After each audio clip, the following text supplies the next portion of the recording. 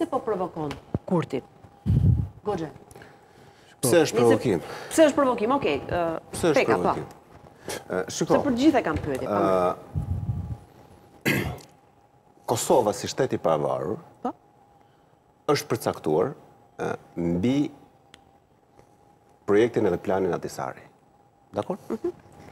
Në 99 kur është vendosur administrata ndërkombëtare në Kosovë, 2-3 vitet e para, gjitha institucionet nuk ka pas institucione vendore, janë drejtuar nga ndërkombëtarët. Jo, ka pas, ka qenë qeveria e përkohshme. Përpara qeverisë, kur jo, absolutisht. Qeveria e përkohshme ka qenë, ishte pak muaj ajo. Jo, jo, qeveria e përkohshme ka vazhdu, s'ka qenë pak muaj, po, po se, po se ka marrë, nuk ka qenë qeveria e përkohshme. Po ka qenë që edhe qeveria e përkohshme e formuar në prill ka ekzistuar deri në zgjedhjet deri në zgjedhjet parlamentare ka ekzistuar qeveria e përkohshme. Hmm. Administrata ishte administrata e UNMIK-ut me të dërguarin përfaqësuesin e sekretarit të përgjithshëm. Po.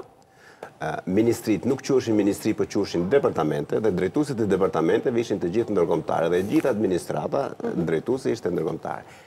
Me kalimin e kohës, po. me kalimin e kohës, se këtu du me dalë, po?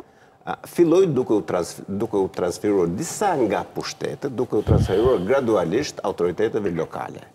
Dhe në atë kohë, viti 2003-2004, faktori ndërkombëtar nxori parimin, tezën apo parimin standardet përpara statusit. Sepse akoma nuk ishte përcaktuar se çfarë statusi do të kishte Kosova.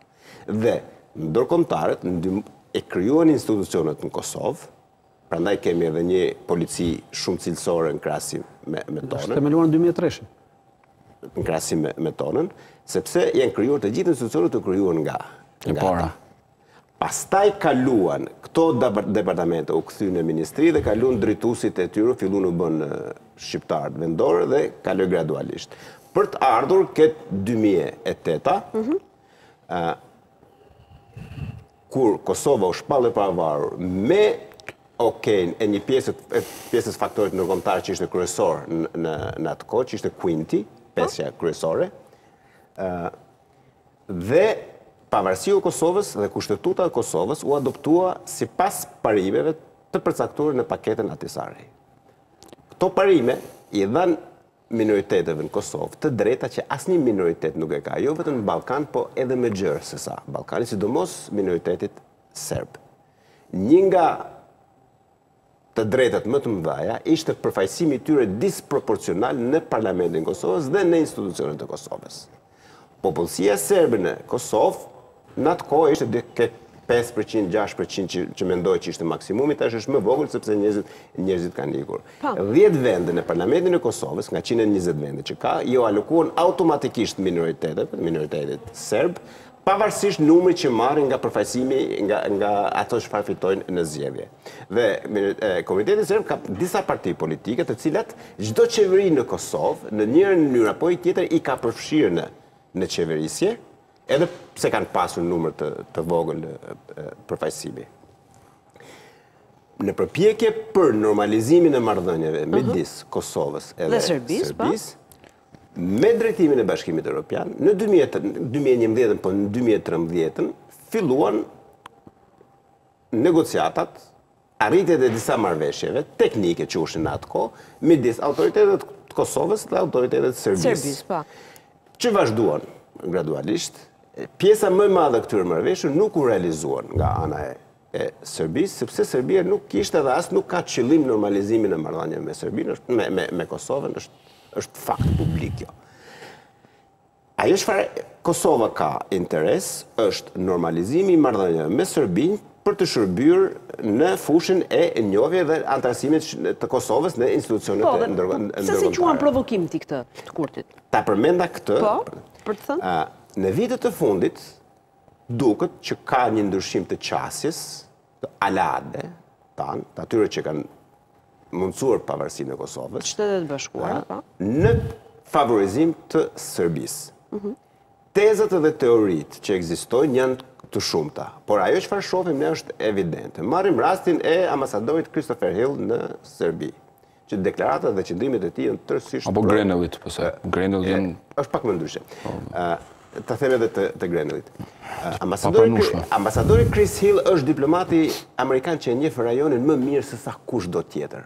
E ka filluar në 91-shin në Shqipëri, ka vazhduar më vonë nëpër vende tjera, ka qenë ambasador në në Maqedoni, ka qenë i ingranuar tërësisht në luftën dhe pasluftën në, në Kosovë, u risoll në Serbi, ishte ogur i mirë si person që e njef, e njef, po, e njef shumë mirë rajonin, më mirë se sa, se sa kushdo tjetër. Pikëpyetjet që lindin, po? pikëpyetjet që lindin, shkojnë përtej Albin Kurtit, përtej qeverisë së Kosovës edhe përtej qëndrimeve që mban qeveria e Kosovës. Ka disa teori të ndryshme, teoritë më dy teori që qëndrojnë më shumë janë përpjekjet e Perëndimit për ta larguar Serbinë nga Rusia. Serbinë nga influenca ruso-kineze, po kryesisht ruse, sepse bashkëpunimi në fushën e sigurisë dhe të inteligjencës është më i madh. Pra nuk e ka fajin Albin Kurti, po thua ti, në këtë gjë. Më i madh. Dhe elementi i dytë është elementi ekonomik. Elementi ekonomik, Serbia nuk është se në rajon është një fuqi rajonale, sepse është vendi më i madh dhe ekonomia më e madhe, po në terma më të mëdhenj nuk ka, është tërësisht irelevant. Ajo çfarë Serbia duket që ka dhe që nuk thuhet, po themi, haptazi, po që pranohet, është rezervat më të mëdha në Europë të litiumit. Litiumi është minerali që përdoret për krijimin e këtyre baterive dhe makinave. Ju e dini që bota po shkon drejt elektrifikimit, drejt energjisë të pastër, po. dhe bateritë janë kryesoret. Tani, presidenti kinez që bëri vizitën në Serbi, në background-in e gjithë kësaj vizite, ishte rezervat e litiumit, qëndrimet e Bashkimit Europian dhe Shtetet e Bashkuara të Amerikës, në background, shkojnë tek rezervat e litiumit.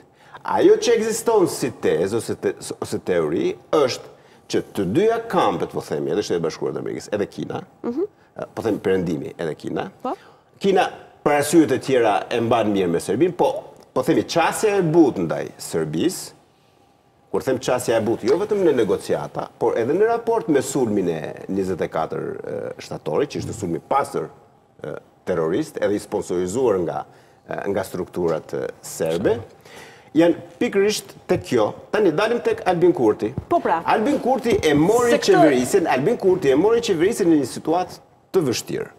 Qëndrimet e Albin Kurtit ne e dimë që kanë qenë qëndrime radikale për sa i përket edhe shtetësisë së Kosovës. Pikërisht pra. Edhe simboleve. Po, kanë qenë radikale jo vetëm për demarkacionin në rastin e me Malin e Zi, por por edhe në raport me shtetësinë e Kosovës ai ka pas qëndrime të ndryshme nga faktori tjetër. Dhe marrim dhe rastin e fundit pra. Dhe Qasja e Kurtit ishte e ndryshme nga e qeverive të tjera të Kosovës, ishte më më pak po themi më me vullnet më të paktë për të negociu. Po. Në gjithë këtë pamje të marrëdhënieve të Serbisë me Kosovën, Kos, Serbia e shef fillimin dhe mbarimin tek Asosacioni i Komunave Serbe. Marrëveshja e Brukselit bashkë me aneksin e e Ohrit ka disa pika, nuk është vetëm kjo. Prioriteti i Serbisë është të arrijë asosacionin për t'i dhënë fuqi ekzekutive komunave me shumicë serbe. Prioriteti i qeverisë së Kosovës në rastin konkret të Albin Kurtit është Që ta arrijmë marrëveshjet e tjera dhe Asociacionin ta lë për në për në fund. Është çështje është çështje qasjes. Faktori ndërkombëtar, pavarësisht se marrëveshjet nuk janë të nënshkruara nga pala serbe, pavarësisht që në marrëveshje nuk është specifikuar rendi hierarkik i realizimit të këtyre pikave të marrëveshjes, pra ato kush të jetë më e mundur të bëhet më e para nuk është e domosdoshme njëra pas e tjetra. Dakord, po. Por faktori ndërkombëtar duket që ka po themi, ka përqafuar qasjen e qeverisë serbe, që fillimi i gjithçkaje të jetë tek asociacioni. Dakord? Mirë pra, pra, prandaj po i bën këto reagime, thua jo, ti, kurti, kurti, ta, kurti tani... Ja se do ta shpërndaj fjalën, vetëm të ta përfundoj pak logjikën Avenir. Ta ta përfundoj logjikën. Përmblidhe vetëm, të lutem. Me shtyrjen e qeverisë në Beograd, katër kryetarë të komunave në Mitrovicën e Veriut, serbë dhanë dorëheqjen dhe u larguan nga detyra.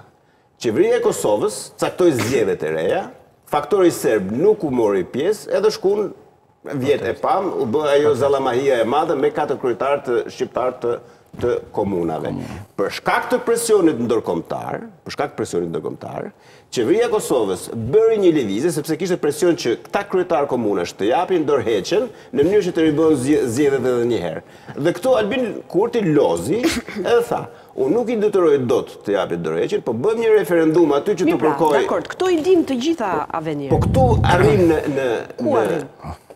Për të arritë në këtë pikë, për të arritë në këtë pikë, te kjo që ka ndodhur tani, te kjo që ka ndodhur tani, pjesa çështja e dinarit, largimit të dinarit nga qarkullimi, është një çështje që është rënë parimisht dakord jo tani, po, po edhe më përpara. Po. Ajo çfarë faktori ndërkombëtar në Kosovë e ka kundërshtuar Kurtin ka qenë që hapat për heqjen e dinarit nga qarkullim, nga qarkullimi, e para të jepen kohë, e dyta të konsultohen me ne, edhe e treta të gjendet ndërkohë të gjendet një mekanizëm për të zëvendësuar këtë mekanizëm që ekziston tani, për ta zëvendësuar me një mekanizëm tjetër që të mos që mos të dëmtojë serbët e thjeshtë. Po. Tani, çështja e dinarit është më komplekse, sepse buxheti i shtetit të Serbisë alokon për serbët në Kosovë tetëqind milionë dollarë në vit, tetëqind milionë euro në vit. Dakord?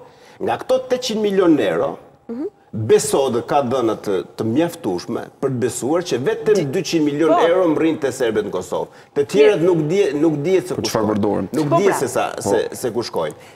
Dhe iniciativa që mori Albini, iniciativa që mori Albini edhe dje është në lidhje me dinarin, është në lidhje me dinarin. Dhe çfarë ndodh? Përfundoje që ta shpërndaj pak bisedën. Dhe çfarë ndodh? Po.